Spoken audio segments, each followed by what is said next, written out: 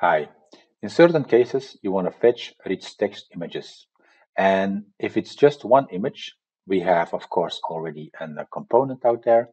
But when it's multiple image, maybe it's multiple records, maybe it's big images, then you might hit Salesforce limits. Well, of course, PDF Butler has a way to come across these Salesforce limits, and that's what I'm going to explain to you now. So uh, we have this image over here. The way that Salesforce saves these images in uh, for a rich text is uh, kind of difficult. So that's why there's not a lot of solutions that can actually handle them correctly, uh, and we can handle them correctly. Let's see how we would go about that. First step is to make sure that the rich text image uh, add-on package is installed. So you can get this rich text add-on package via our support department, our customer success department, and all you have to do is ask. Okay, next step is we're going to create some data sources and some actionables to actually pre-process the data before we send it off to PDF Butler. So in this pre-processing, we're going to create a new data source. We're going to, it's going to be, in this case, a key value data source, and we're going to name it rich text image image URLs. Okay, it's going to be a list of objects because maybe you have multiple uh, records in there. And then I'm going to save this already. So this is what we would need in step one. Next up is we're going to go back to our uh, um, to our .config. Okay, this is the one. And on that the .config, we're going to create an actionable. So an actionable is an action that you want to take before or after um, generating the document. And in this case, it's going to be before, but after we have retrieved the data sources, because we want to make changes or we want to use the data from the data sources to actually know what kind of information we want to process. So we're going to call this actionable rich text URL. Then the class that I'm going to use is this one. You will find it on our Academy and that one is active. It's uh, before but after data sources, so that's fine. Sometimes it's called after data sources, but it has to be uh, after data sources. We're going to use the opportunity uh, data source. The rich text object name is opportunity, and the field is going to be called, let's take a look,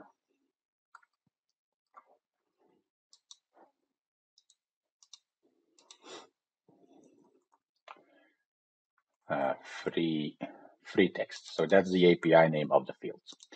Okay, let's go back to our actionable. That's the API name of the fields. So where do we want to store these? Uh, so we're going to get actually the URLs to fetch the image. We're not going to fetch the actual image. Like I said, fetching the actual image before we start processing the document might blow up the uh, Salesforce limits, and that's uh, what we want to uh, just achieve that we don't hit the Salesforce limits.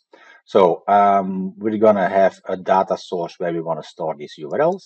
So that's this uh, this data source, and we have to say what is the height of the picture. Let's say that the picture height is gonna be uh, 50 higher or 75. Let's do 75.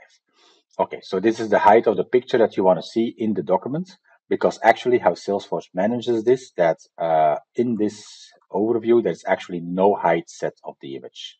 So if the image is huge, yeah, which uh, we see some customers doing, just taking big pictures, big images from their uh, cameras and uploading here, then uh, this is going to show huge inside the document and you have no way to control it because Salesforce does not allow to change the height here.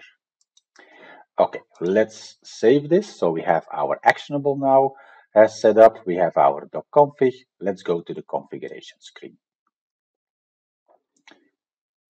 In our configuration screen, we're going to use the opportunity data source. On the opportunity data source, uh, we also need to add, uh, on sorry, on this uh, config also need to add our uh, rich uh, text images URLs. Okay, and I'm gonna add uh, two fields here. The first fields, this uh, these field names have to be exactly like I put here. So uh, the first field is gonna call be called PDF Butler Parent ID. So we need to know to where the image is going to link to. So we have an image in our rich text field. So if you have multiple images here, we need to know, of course, at this location, which image to show. So that is going to be an identifier uh, to, uh, to link this the image with the placeholder that's in the uh, actual rich text because you see it in the browser that there is an image here, but actually there is just a placeholder here, a link to this image in the, uh, in the text that we need to parse. So that's one field, and the second field is called PDF Butler underscore URL. Okay, so we have both fields now. Make sure they are put in correctly. Uh, they will be on the Academy, so you can easily copy paste from there. And then we're going to add something cool. We're going to add here a dynamic picture data source. So a dynamic pictures data source is actually going to use the URLs, which the URLs actually download the images, and then these images can be put inside the document. So we're not going to download the images or fetch the images in Salesforce. Like I said, that would hit the, the limits, but we're going to fetch them right here in the uh, during the generation of the documents. Let's call this uh, RTF images or pictures. It's called pictures. The ID field obviously is going to be the parent ID. The URL is going to be the URL. That's easy. And now let's already save this. So no uh, errors. Let's add a config type now. So the config type um, type is name is going to be rich text. It's going to be a rich text v2 data source is, um, in this case, our opportunity. Data source field is our free text. Yeah, free text, merge field, rich text. And then you have to set which is the data source for my images. So if you don't see this field, you have to connect to uh, uh, our support department again because they have to enable that. Same thing for these uh, dynamic images. Uh, there might be an extra cost link to that depending on your license settings. So please connect to our uh, support department for more information. So rich text pictures, it's there. And now configuration is done. That's all you need to do actually to say to the system, from a rich text field, there is a picture there and we want to show it when we generate the document. So now let's give it a test. Um, this is our uh, previewer. This is our .config. Let's click the button.